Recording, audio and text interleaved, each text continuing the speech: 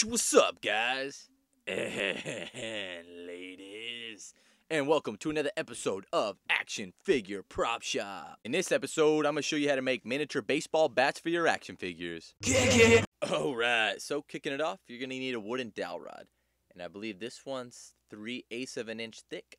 And length doesn't really matter. They usually come in like a long stick. But the longer it is, the more bats you can make.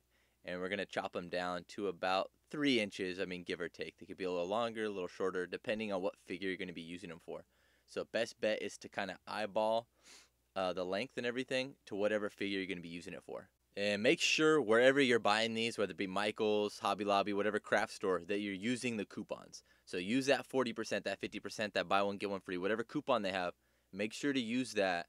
I mean, save your money for your figures, man. Make props cheap, save your money for your figures. All right, now that you got the preferred length of the bat, you're going to want to start hacking at it. So I'm using a heavy duty box cutter with a fresh blade and just start hacking away, start taking piece by piece and make sure you leave a little uh, spot on the bottom for the butt of the bat. So I keep carving down to that spot. I just, with the blade, uh, with my box cutter, I just kind of made a notch all the way around so I have a stopping point.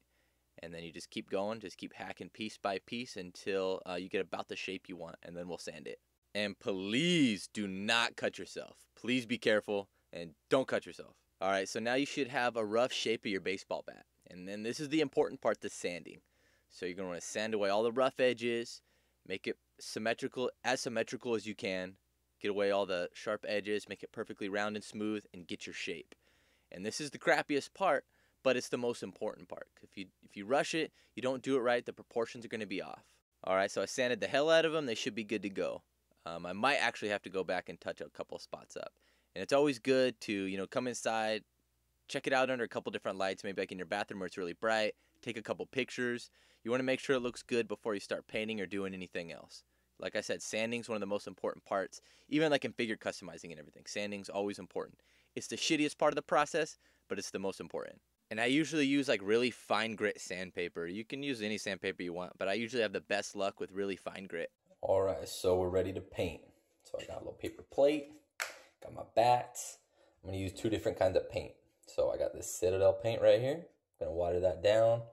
Gonna add a little wash to it too.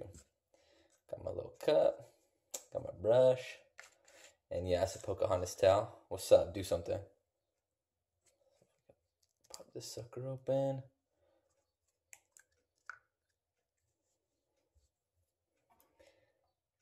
Just dab a little from the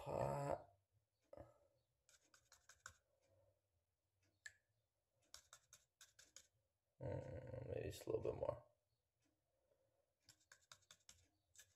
That should be good. Rinse my brush off. Alright. Carve that sucker up.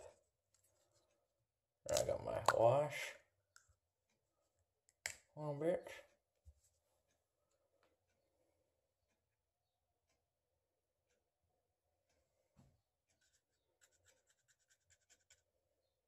That should be good. Now get some water. A little bit more water. Just a little bit more water.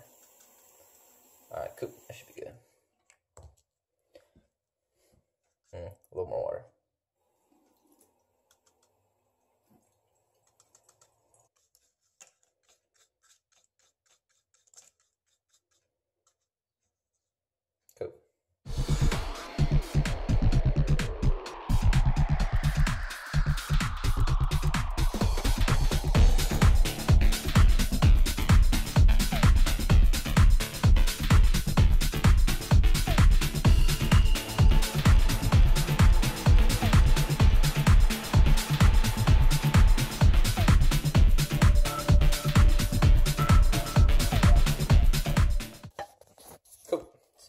Basically, you kind of want to stain it. So you want to kind of give it a stain. I mean, you can leave it just like that one, that really like light pale wood, but I like to stain it. It gives a little more grit, makes it look a little more real. Once this dries, I'm going to add a wash to it using that. I'm just going to dry brush it or I could sponge it. Either way. Um, just give it a little more grit and then I'm going to tape the, um, the grip right here. I'm going to put a grip on both the bats. So you can see after they dry, it's not that much darker, but I do like the color that the paint gives it other than the standard kind of pale color. All right, now for the grips of the bat, I got two different kinds of tape. That white tape is like a medical kind of tape, like the stuff that Macho Man wraps around his wrists and his fingers. Ooh, yeah. And then the black tape is hockey tape, like you put on the grip of a hockey stick.